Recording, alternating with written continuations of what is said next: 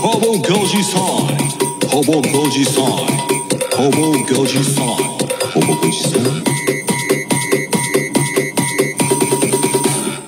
ほぼ5時さん。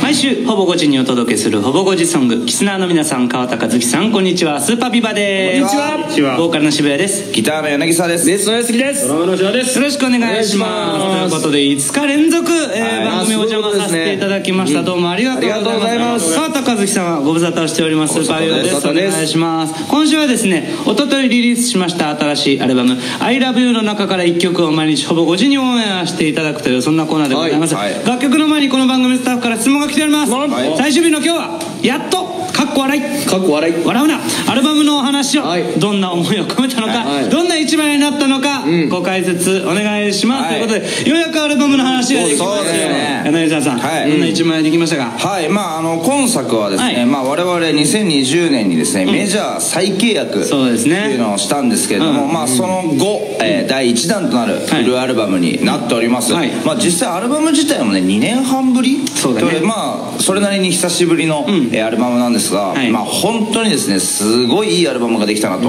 まあ自分たちで思えるはい。一枚になってます。でまああの I love you という楽曲もあり、でまあそこからタイトルが I love you になったんですけど、まあ本当に今一番これをなんだろうな届けたいというか送りたいというか、はい。まあそういう気持ちなんだなっていうのは自分たちでもですねすごくよく分かった、えー本当にいいアルバムができたなと思っております。はい、もうぜひね聴いていただくのが一番早いんでございますけれども、我々スーパーエヴァーメジャー再契約ということで、はい。10年前に、えー、と一度一度メジャーデビューをしておりまして、そこからメジャーを離れまして10年間インディーズで活動していたバンドですね。自主レーベルを立ち上げたりですね、4人だけでツアー回ったりとか、あのたくさんしてまいりましたけどもこの度ですね2020年の4月にメジャー再契約いたしまして、えー、とようやく一歩歩み出せたかなというぐらいのですね、はい。アルバムをあの引っ提げて、はい。この、えーコーナーにキスナーの皆さんに届けるべく、はい。5日間も、はい。えーお世話になりました。どうもありがとうございます。渾身のアルバムできたんでぜひ聴いてくれたらとっても嬉しいなと思っております、はい。よろしくお願いします、ということで